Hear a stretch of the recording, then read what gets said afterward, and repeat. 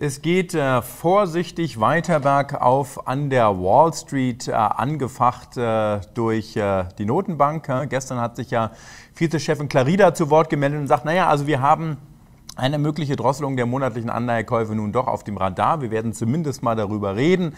Äh, Inflationsangst lässt also ein bisschen nach und die Tatsache, dass auch so mancher Wirtschaftsindikator enttäuscht, das Verbrauchervertrauen zum Beispiel lag unter den Erwartungen, das sind auch Signale, dass äh, der Inflationsdruck eher auch wieder ein bisschen nachlassen könnte, auch wenn jetzt die Daten für den ab äh, Mai und Juni noch recht hoch ausfallen dürfte. Aber kommen wir zu den Breaking News des Tages. Es kommt genauso wie erwartet. James Bond goes Amazon. Jawohl, man kauft MGM Studios für 8,45 5 Milliarden Dollar.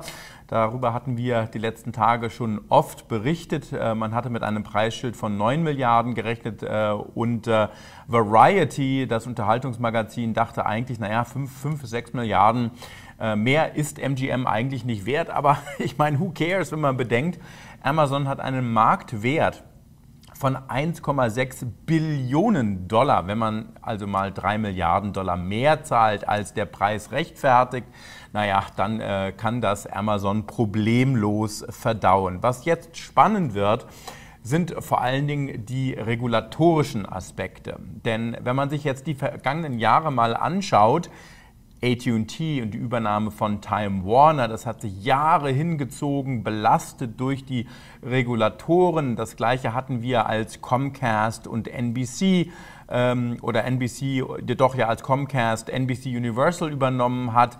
Damals hat man äh, NBC Universal dazu gezwungen, die Lizenzen für die Inhalte auch an Drittparteien zu vergeben.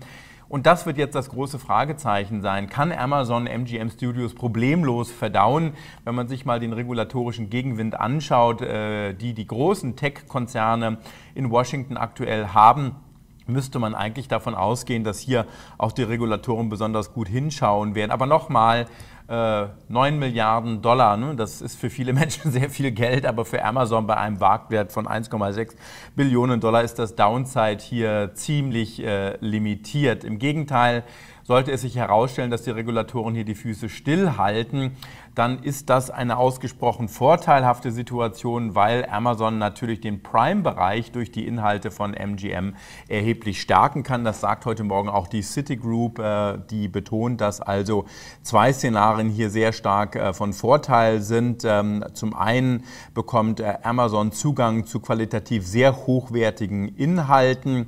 Dadurch wird das Direct-to-Consumer-Business erheblich angefacht. Ne? James Bond beispielsweise gehört zu MGM. Und der zweite Faktor, man wird äh, sich sehr stärker abheben können vom Wettbewerb. Das ist eben die große Frage der Konsolidierung. Wir hatten ja nun äh, vor einigen äh, Tagen den Deal zwischen Media oder Warner Media und äh, Discovery. Da hat sich schon herausgestellt, dass Comcast auch Interesse am Warner Media hatte.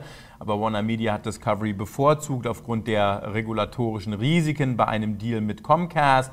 Jetzt wird ebenfalls berichtet, Comcast hätte auch Interesse daran gehabt, MGM Studios zu kaufen, aber man wollte keine 9 oder 8,5 Milliarden Dollar dafür zahlen. 5 bis 6 Milliarden Dollar wären realistischer gewesen. Man sieht also, dass der Druck, äh, der Konsolidierungsdruck in dem Bereich ausgesprochen groß bleibt. Und Sony bestätigt heute Morgen nochmals, dass man kein Interesse hat, den Studio- und Filmbereich äh, zu veräußern. Man will also hier an keiner Konsolidierungsrunde äh, teilhaben. Aber das letzte Wort ist hier noch lange nicht gesprochen. Durchaus denkbar, dass Comcast und das neue Unternehmen, das Viacom, das aus ähm, Warner Media und Discovery hervorgeht, dass es langfristig gesehen hier einen Deal geben kann. Aber nochmal, die große Frage wird sein, wie die Regulatoren sich das Ganze letztendlich gesehen anschauen. Ansonsten haben wir heute Morgen wieder durchweggehend äh, sehr, sehr gute Quartalzahlen. Agilent äh, kann die Erwartungen des Marktes schlagen, hebt die Aussichten an.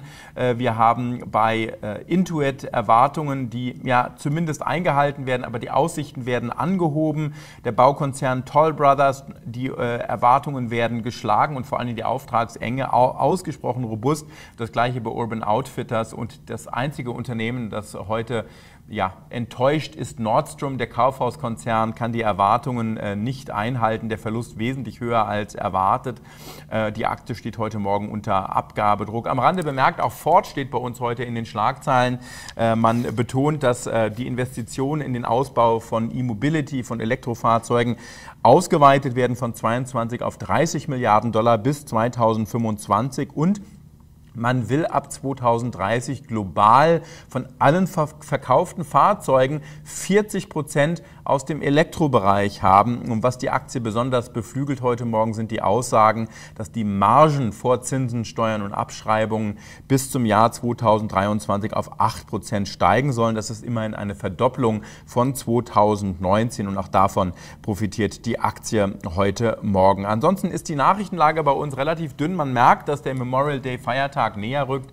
Am Montag ist hier die Börse geschlossen. Die Handelsvolumen sind dementsprechend dünn und der Markt dümpelt so ein bisschen vor sich hin aber immerhin stimmt die Richtung. So, zwei Themen möchte ich kurz noch ansprechen: das Thema Dividenden und das äh, Thema, ja, wohin fließen eigentlich oder was, was, wo, wo liegt der Fokus der Anleger aktuell? Fangen wir mal mit den Dividenden an. Wir gehen davon aus, äh, Janus geht davon aus, dass die Dividendenzahlungen äh, weltweit hm, in diesem Jahr das historisch dritthöchste Niveau erreichen werden. Es geht also hier merklich bergauf wesentlich mehr Dividendenausschüttungen. Das wird alle freuen, die auf Dividendenstrategien setzen. Und der zweite Faktor, worauf fokussiert man sich eigentlich aktuell an äh, der Börse oder wenn es um Geldanlage geht? Welche Trends liegen vorne? Und hier eine ganz interessante Analyse von Arbor Data Sciences. Hier sehen wir nämlich, dass zwei Faktoren nach wie vor im Vordergrund stehen. Das, der Bereich Commodities, Rohstoffe und der Bereich Kryptowährungen. Diese beiden Segmente werden bei Google am meisten gesucht nach wie vor. Was deutlich zurückgelaufen ist, äh, ist der Bereich Kaufoption, also Optionshandel und auch der Bereich Daytrading. Beides kühlt sich hier also ein bisschen ab, aber Kryptowährungen sind nach wie vor in aller Munde. Und wir sehen auch, dass es hier weiter bergauf geht mit Bitcoin über der Marke von 40.000 und Ethereum kann ebenfalls wieder erheblich an Dynamik gewinnen. Hier nur eine Anmerkung am Rande. Wir hatten in den letzten Tagen einige US-Notenbank-Mitglieder, ne, Notenbankmitglied Ballard und auch die Vizechefin der amerikanischen Notenbank Clarida, die sich gegen Kryptowährungen stellen und sagen, naja, eine, Fra eine Fragmentierung des Zahlungssystems sei nicht erwünscht. Bullard behauptet, eine Kryptowährung äh, würden wertlos sein. Ähm, das riecht meines Erachtens eher danach, dass man darin eine wirkliche Gefahr sieht, einen wirklichen Wettbewerb sieht. Äh, und äh, meines Erachtens stärkt es eigentlich die Validität von Kryptowährungen.